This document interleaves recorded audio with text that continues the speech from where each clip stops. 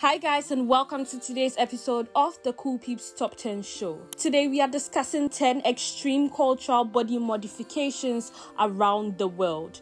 To the layperson, these may seem nonsensical and even horrifying, but each culture from which these modifications originate has its own perspective regarding the human body and a deep seated belief that justifies the damages done. Starting off at number 10, we have head binding. Within the Vanuatu people of the Tomman Island, a person with an elongated head is thought to be more intelligent, of higher status, and closer to the world of the spirits.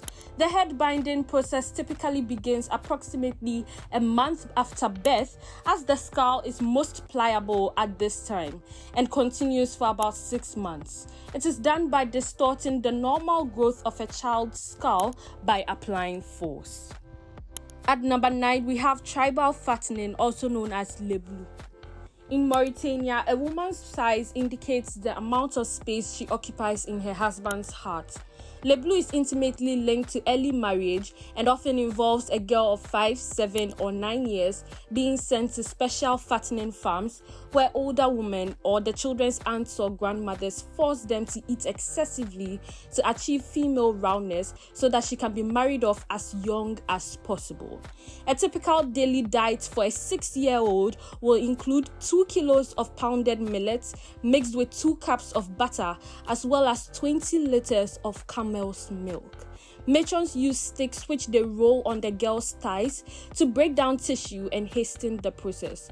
Other Leblouh practices include a subtle form of torture where two sticks are inserted at each side of a toe. When a girl refuses to eat or drink, the matron squeezes the sticks together, causing great pain. Ear stretching is a number 8.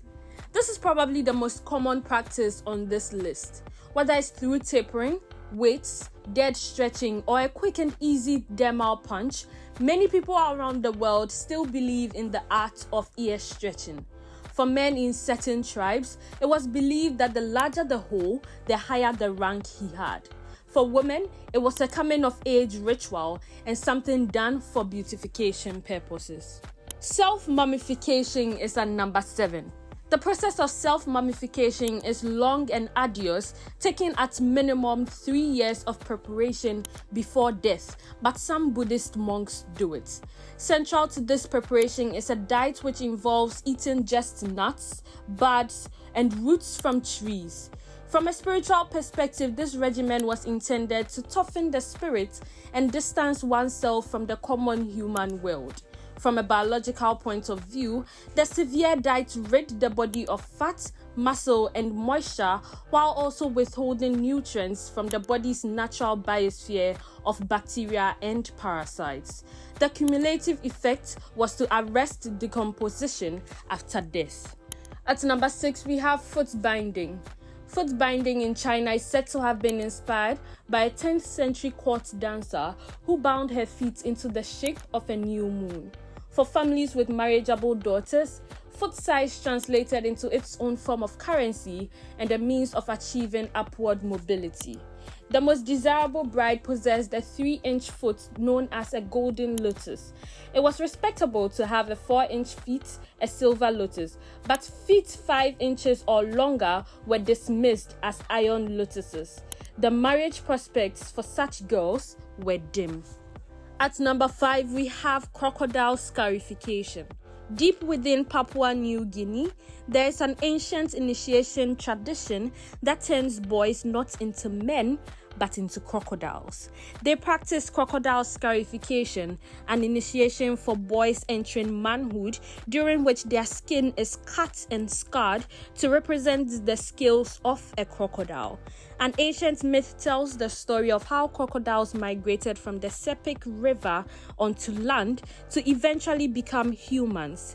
In recognition of this ancestral connection, the young men of the tribe are inflicted with hundreds of deep cuts in cascading patterns down their backs, arms, chests, and buttocks to give their skin the look and feel of a crocodile's body. At number four, we have finger amputation. The Dani tribe of Papua New Guinea believe that the physical representation of emotional pain is essential in a grieving process, and so some female tribe members cut off the top of their finger upon attending a funeral. A woman will cut off the top of her finger if she loses a family member or child.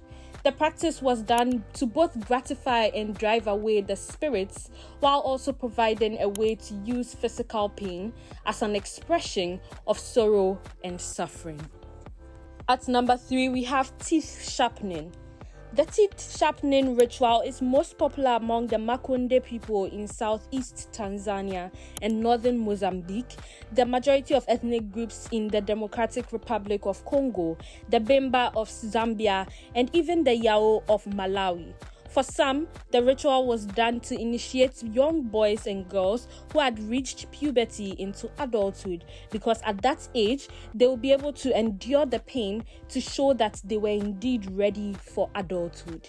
For other tribes, the teeth sharpening ritual was a general part of their custom, and any person belonging to such a tribe was expected to have sharpened teeth at an expected age. At number two, we have neck stretching. For members of the Kayan ethnicity, neck stretching begins as early as 5 years. At this age, young girls start wearing heavy brass rings around their necks. Over time, more and more rings are added, giving the effect of an elongated neck, but technically, their actions push down their collarbones. The tribe has practiced this custom for nearly a thousand years because they believe it makes women more attractive, which in turn helps them land a husband. And finally, at number one, we have lip plating. The lip plate has become a chief visible distinguishing characteristic of the Surma and Mursi people of Ethiopia and South Sudan, and it has made them a prime attraction for tourists. A girl's lower lip is cut by her mother or by another woman of her settlement when she reaches the age of 15 or 16. The cut is held open by a wooden stick until the wound heals, which can take around three months. It's up to the girl to decide how far to stretch the lip by inserting progressively larger plugs over a period of several months. The clay plates are meant to symbolize a woman's strength while also displaying their social maturity.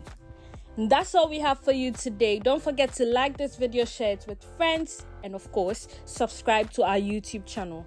We'll be back tomorrow with a new top 10 list for you.